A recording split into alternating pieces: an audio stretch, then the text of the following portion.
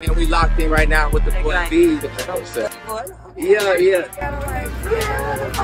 About your personal style, like you can put this shit on different. Like you obviously come like no haircut, but the ladies love it. Type. How would you describe that? Um, I don't know. I really can't describe. I just don't be.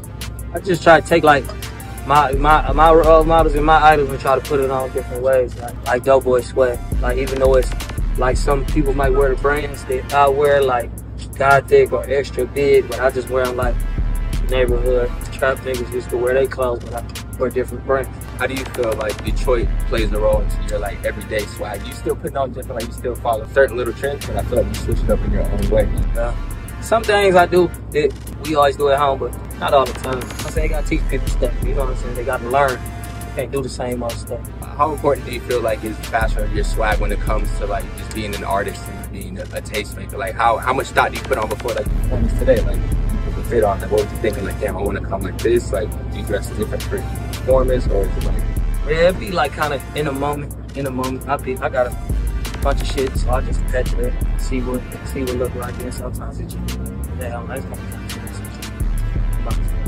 still promo. Yeah. Good, good. Yeah, chop up. That's what I like I'm doing carpet. Yeah. Have you some of your uh, style inspirations that's not music, that's not rap? Some nigga you looked up to that's just like, I know who give movie, like an actor or. It'd be like old, old generation stuff like Cam'ron and Jay Z and Kanye West and stuff. Then it's like general. I go with the I go with the time. I go with the time. I ain't never trying to be behind. I'm go with the time. I might be ahead of time or right on time, but I ain't gonna be late. I appreciate you, my boy. Shout out to my nigga Lil Yachty, my boy behind the camera. You know what I'm saying? I want that shirt he got on. That's Bada bing. good I got I got some good Yeah, shirts in here. That's a good shirt. I ain't gonna lie.